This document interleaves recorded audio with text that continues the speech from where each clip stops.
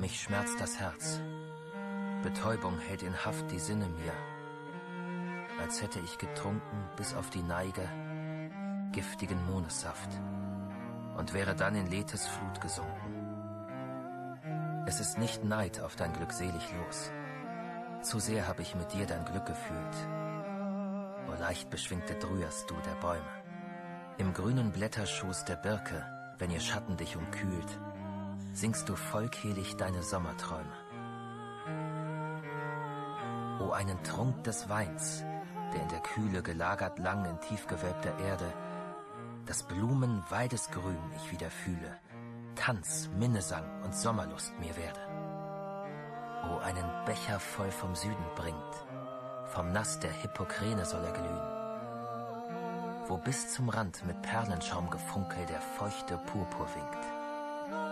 Den möchte ich trinken, dann der Welt entfliehen, mit dir hinschwinden in des Waldes Dunkel. Hinschwinden fern, vergessen und versenken, was man auf deinem Zweig dich nie gelehrt. Die Müdigkeit, das Fieber und das Kränken. Hier, wo man nur des andern Seufzer hört, wo letzte graue Haare Schwäche schüttelt, wo Jugend blass gespenstisch wird und stirbt, wo nur zu denken voll sein heißt von Sorgen, wo uns Verzweiflung rüttelt, wo auch der Schönheit heller Glanz verdirbt, den Liebe kaum betrauert bis zum Morgen. Fort, fort von hier, denn zu dir will ich dringen und nicht entführt von Bacchus Paderwagen. Nein, auf der Dichtung unsichtbaren Schwingen kann auch das dumpfe Hirn es noch nicht tragen. Schon bin ich bei dir. Lieblich ist die Nacht. Auch Luna fehlt auf ihrem Throne nicht. Von allen ihren Sternenfeen umdrängt. Doch hier, hier ist kein Licht als das der Wind vom Himmel hergebracht, das sich durch dichtes, grünes Dickicht zwängt. Ich sehe nicht die Blumen mir zu Füßen, nicht welch ein Wohlgeruch am Baume hängt. Doch in balsamischer Luft ahne ich die Süßen, die alle uns der Frühlingsmond geschenkt, die er in Dickicht, Baum und Gras erschloss.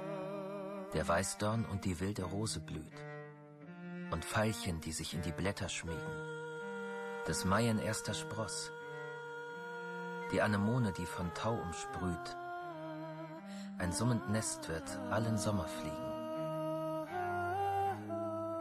Im Dunkeln lauschig, oft hab ich gezeugt, fast liebe ihm, dem Friedensbringer Tod.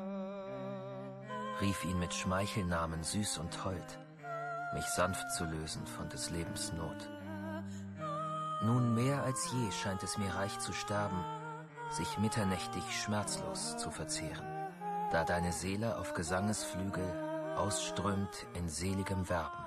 Du würdest singen, ich könnte dich nicht hören. Wär für dein Requiem ein Rasenhügel. Du Heere warst nicht für den Tod geboren. Kein hungriges Geschlecht tritt dichter nieder. Die Stimme, die ich höre, sang den Ohren von Narr und Kaiser einst dieselben Lieder. Vielleicht war es der gleiche Klang, der leise zum Herzen ruht sich stahl, als heimwehkrank inmitten fremden Korns sie weinend stand. Oft war es deine Weise, die ins Gemach des Zauberschlosses drang, das Meer umrauscht ins Feenland verbannt. Verbannt. Wie eine Glocke tönt dies Wort, das mich von dir zur Einsamkeit verweist. Leb wohl. Die Fantasie täuscht uns nichts fort, was man auch von ihr rühmt, trugvoller Geist.